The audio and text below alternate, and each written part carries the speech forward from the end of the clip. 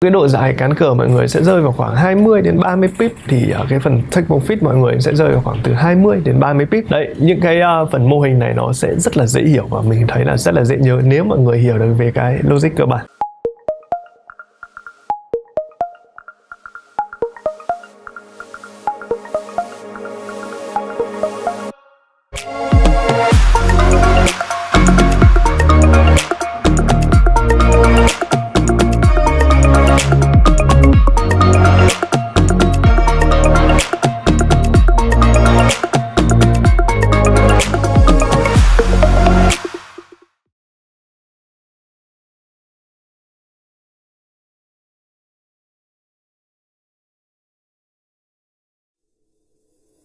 Chào mừng các bạn đã quay trở lại với XTB, mình là Minh. Và những nội dung ở trong video này được xây dựng dựa trên những kinh nghiệm và kiến thức cá nhân của mình. Tất cả nhằm mục đích giúp cho các bạn tiếp cận về thị trường tài chính một cách đơn giản nhất và dễ dàng nhất. Và nên nhớ chúng có rất là nhiều video khác nhau với những chủ đề khác nhau mà các bạn hoàn toàn thể xem lại bất cứ lúc nào ở trong chuỗi series của XTB Trading Academy.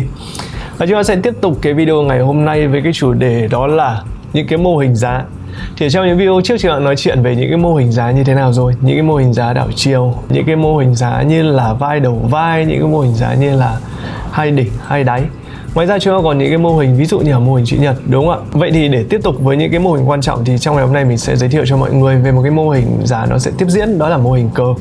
À, ở Việt Nam hay gọi là mô hình cờ đuôi nheo và chúng ta sẽ cùng bắt đầu video của chúng ta ngày hôm nay. Và đầu tiên chúng ta sẽ đi vào cái phần lý thuyết chúng ta không thể nào chúng ta bỏ qua được Đó là gì? Mô hình cờ đuôi nheo là gì? Và đây ở trên màn hình thì mình đã ghi cho mọi người hai cái mô hình cờ đuôi nheo và một cái là dạng tăng và một cái là dạng giảm đúng không ạ? Và nhìn vào đây chúng ta sẽ đều nhìn thấy và rõ ràng nó là về mặt uh, trực quan Nó rất là thấy giống một cái mô hình của một cái lá cờ Với đây chúng ta sẽ có một phần thân cờ và đây phần lá cờ và đây Nó sẽ là một cái xu hướng tiếp theo sau khi nó phá ra khỏi mô hình này và đây là một cái mô hình giá được hình thành sau một cái xu hướng mạnh. Nên nhớ nhé đây là cái keyword đầu tiên của chúng ta, đó là hình thành sau một cái xu hướng mạnh. Và sau một cái xu hướng lên hoặc là xuống mạnh, mọi người lưu ý nhé nó có thể là lên hoặc là có thể là xuống người mua và người bán thường tạm dừng trước khi đưa giá đi xa hơn theo cái xu hướng trước đó. Và trong quá trình này thì giá thường hội tụ ở biên độ nhỏ và tạo thành một hình tam giác còn được gọi là cờ đối nhau vậy chúng ta sẽ thấy là một cái xu hướng trước đó một xuống mạnh có thể là xuống lên hoặc là xuống xuống mạnh. Sau sau đó giá nó hội tụ tức là giá nó chạm vào với một cái uh, dốc nó tạo thành một hình tam giác. Và đây nó có thể tạo thành một hình tam giác cân hoặc là tạo thành một cái hình tam giác phẳng. Và cái mô hình cờ đuôi nhau là một mô hình giá báo hiệu của sự tiếp diễn của xu hướng. Thì nhìn vào đây chúng ta lại có thêm cái keyword thứ hai đó đó là gì đây là một cái mô hình giúp chúng ta biết là giá có thể tiếp diễn vậy thì từ cái yếu tố này chúng ta sẽ đưa ra được hai cái vấn đề chúng ta có thể nhìn thấy khi chúng ta áp dụng mô hình này thứ nhất đó là uh, cho để sử dụng cái mô hình này để cho tiếp tục cho nắm giữ cái lệnh chúng ta ví dụ cho có một cái lệnh buy chúng ta thấy một cái mô hình uh, cờ đuôi nhau và sau đó chúng ta thấy à đây là một mô hình tiếp diễn xuống tăng thì chúng ta có thể là chúng ta sẽ giữ tiếp cái lệnh đó của chúng ta cái quan điểm thứ hai đó là gì là chúng ta sẽ thấy được là có một mô hình cờ đuôi nhau sắp xuất hiện rồi và chúng ta thấy được là đây chúng ta sẽ có một cái khả năng chúng ta sẽ có một cái lệnh mua hoặc là một cái lệnh bán thuận theo cái xu hướng về cờ đuôi nhau đó. Thì đấy sẽ là hai cái hướng mà để chúng ta tiếp cận vào cái mô hình này một cách đơn giản nhất và dễ dàng nhất. Vậy thì uh, chúng ta đã có về khái niệm cơ bản. Còn cái đặc điểm và cấu tạo của mô hình này là gì thì mọi người cần phải nhớ những cái đơn giản như sau đó là cái phần cột cờ là một cái đà biến động giá cực mạnh thẳng đứng tạo nên được cái mẫu hình giống cây cột đúng không ạ? Ở đây chúng ta sẽ thấy được một cái vấn đề đó là gì? À, cái phần giá nó sẽ tăng hoặc là sẽ giảm mạnh thì nếu chúng ta nhìn lại về những cái bài mô hình nến của chúng ta nếu mọi người chưa xem thì mình hy vọng là mọi người sẽ xem lại về những cái mô hình nến cơ bản và trong đó sẽ có một cái gọi là mô hình nến cường lực và đối với những cái đà tăng và đà giảm mạnh thì mô hình nến cường lực nó sẽ xuất hiện rất là nhiều và nó sẽ là một trong những cái dấu hiệu để giúp cho mọi người nhìn nhận được là à, đâu là cái để chúng ta phát hiện ra cái phần cán cơ đúng không ạ? Nên nhớ cái điều đó. Rất là hay và rất là mình nghĩ áp dụng ở trong thực tế rất là nhiều. Và đối với cái phần lá cờ thì sao như đã nói ở trước thì đây là kết quả của sự hội tụ của hai trendline đường kháng cự dốc xuống và đường hỗ trợ dốc lên.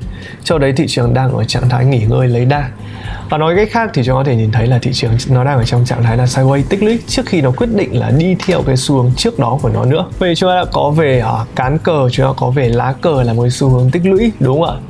Thì sau khi giá nó tích lũy và giá nó nghỉ ngơi xong thì giá nó sẽ bứt phá theo cạnh trên hoặc cạnh dưới của mô hình cờ đuôi nheo để đi theo cái xu hướng tăng hoặc là cái xu hướng giảm ban đầu của nó. Và cái mô hình cờ đuôi nheo nó thường xuất hiện sau một cái xu hướng tăng hoặc là giảm giá mạnh.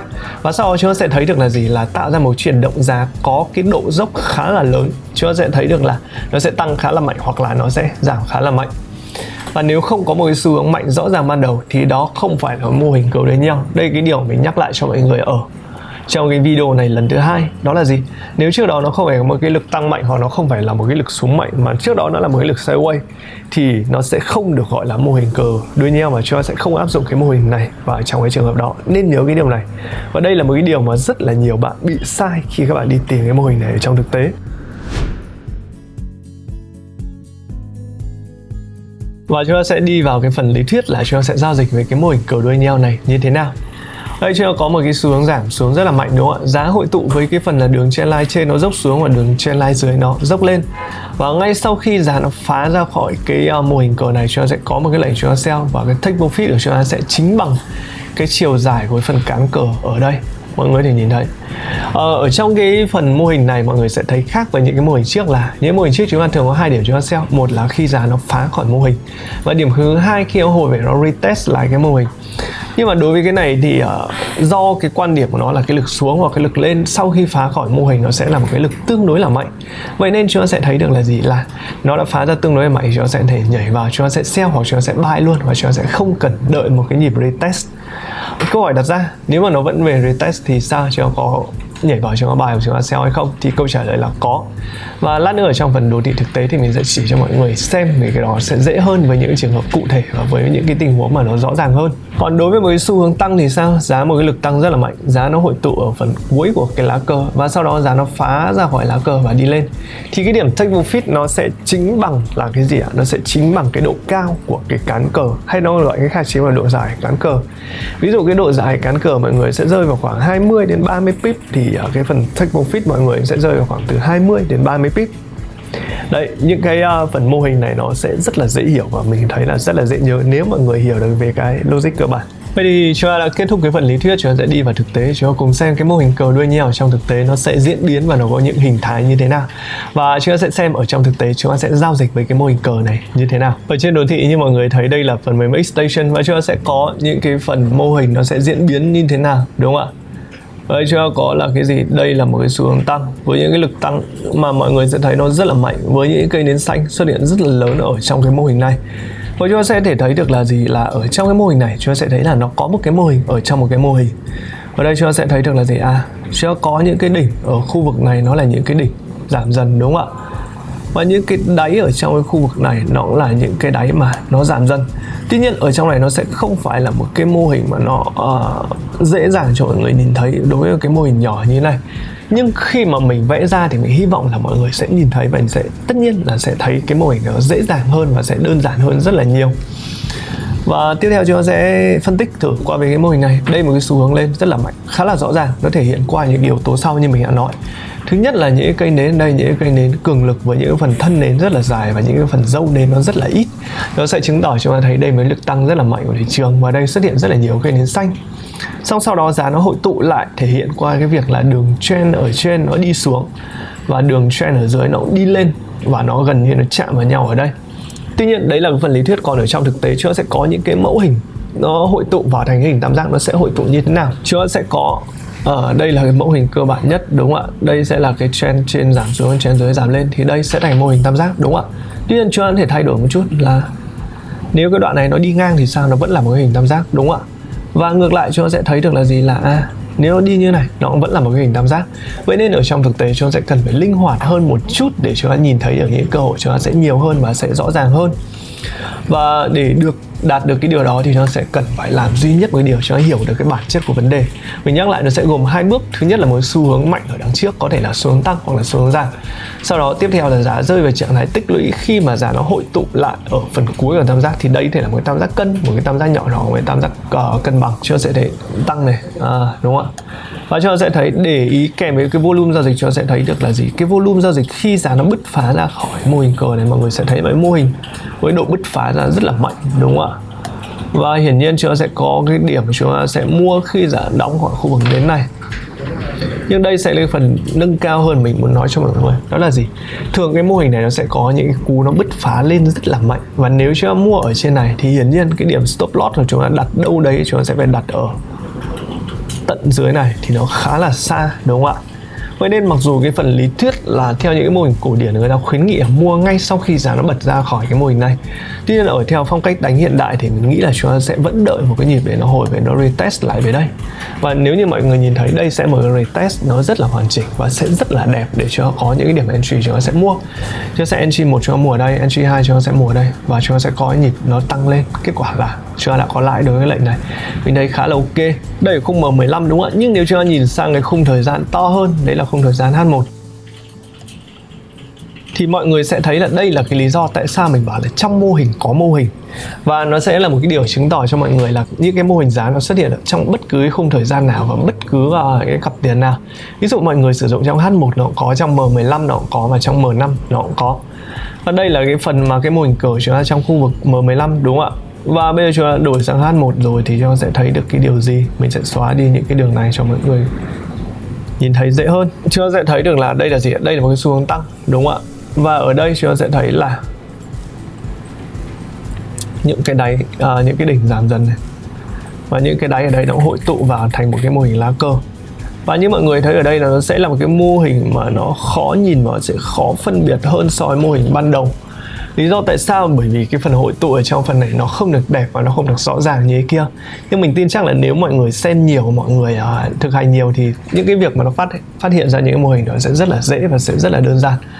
Và ở đây kết quả nó sẽ y như vậy. Uh, giá đi lên đi xuống hội tụ ở đây và mọi người sẽ lại thấy sau bất cứ một cái mô hình cờ tăng hoặc cờ giảm nào nó sẽ xuất hiện một cái lực mua.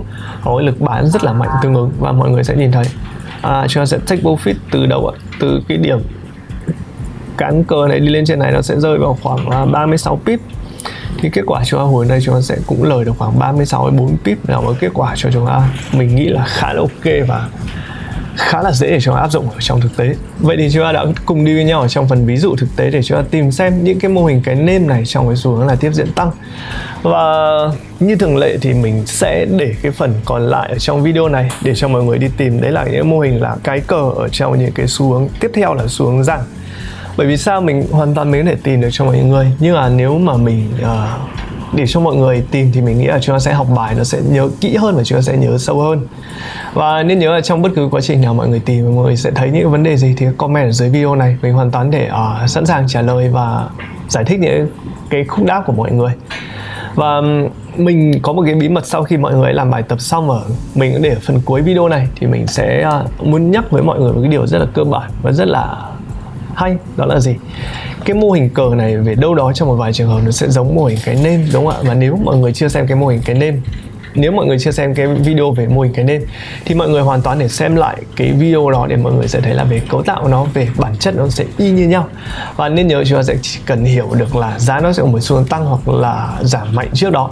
Và sau đó giá nó hội tụ ở cuối một cái tam giác thì nó sẽ bật lên hoặc nó sẽ bật xuống rất là mạnh. Và đừng uh, để chúng ta bị mất những cơ hội kiếm tiền của chúng ta ở trong thị trường khi mà chúng ta không biết những cái mô hình này. Và mình tin chắc khi chúng ta biết thì uh, cơ hội đến với chúng ta sẽ nhiều hơn kết quả đến với chúng ta sẽ tốt hơn. Và trên đây những cái điều mình muốn dành thời gian để chia sẻ với mọi người trong video ngày hôm nay. Và cảm ơn mọi người dành thời gian theo dõi video này. Hẹn gặp lại các bạn trong những video tiếp theo. Xin chào.